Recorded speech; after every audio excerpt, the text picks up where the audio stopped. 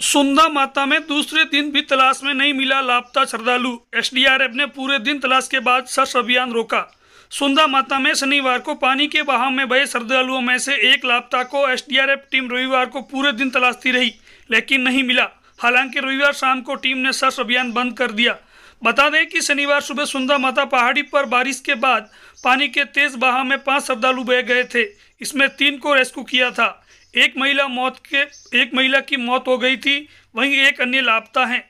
शनिवार और रविवार को झरने के ऊपर से नीचे तक चार बार तलाश लिया।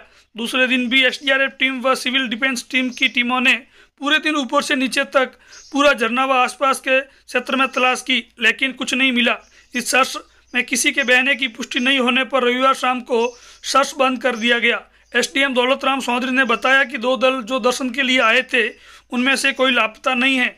इसके अलावा लापता की रिपोर्ट भी नहीं मिली है, ऐसे में सर्च अभियान बंद किया है।